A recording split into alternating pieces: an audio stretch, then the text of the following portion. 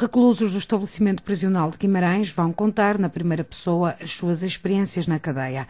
Este é um dos propósitos de um projeto levado a cabo pela Câmara de Famalicão no âmbito da Guimarães Capital Europeia da Cultura. A iniciativa, criada no âmbito das celebrações dos 150 anos da obra Memórias do Cárcere, de Camilo Castelo Branco, tem como objetivo ensinar os presidiários a exprimir os sentimentos, experiências e memórias do tempo que passaram no espaço prisional. Depois, os presidiários vão ter formação em escrita criativa para aprenderem a transpor para o papel as suas experiências. Os trabalhos vão ser depois compilados e dar origem a um livro. Para a Fundação Cidade de Guimarães, este projeto é um sinal claro de que esta é uma capital da cultura inclusiva. É um projeto que tem origem na, em Vila Nova de Famalicão e na Casa de Camilo. Uma proposta que foi feita em devido tempo à Capital Europeia da Cultura, acolhido de imediato pela, pelas respectivas áreas de programação. A área de programação de pensamento e a área de programação de cinema. Na altura era eu próprio que tinha a meu cargo essa área de programação de pensamento. O João Lopes, a área do cinema e audiovisual.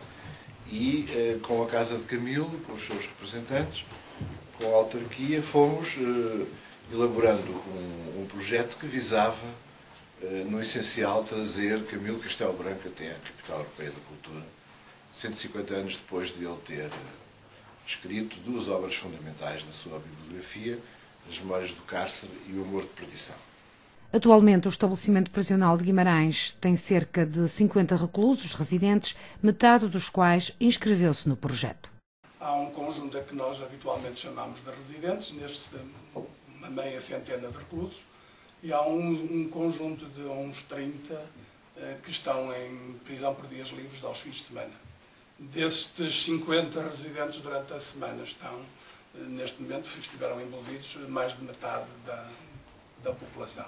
É natural, depois que no, no, projeto em si e no final não seja metade, uh, como é que eu ia dizer, a participar no, nos produtos finais da, do projeto, mas no seu início estão neste momento inscritos cerca de metade.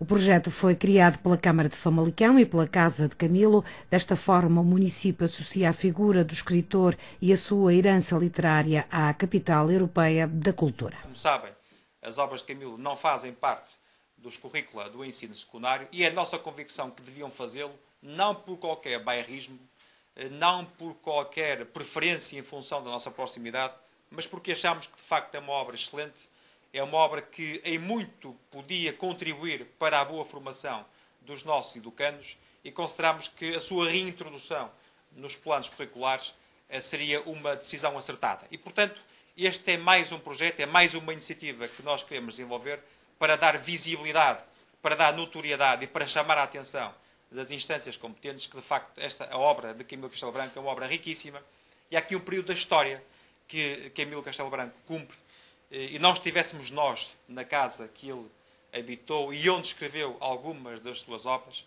para chamar a atenção para esse facto. O projeto contempla ainda outra vertente dedicada a outra grande obra de Camilo, Amor de Perdição. Nesse sentido, serão exibidas as três versões cinematográficas do Amor de Perdição no cinema de São Mamed até abril.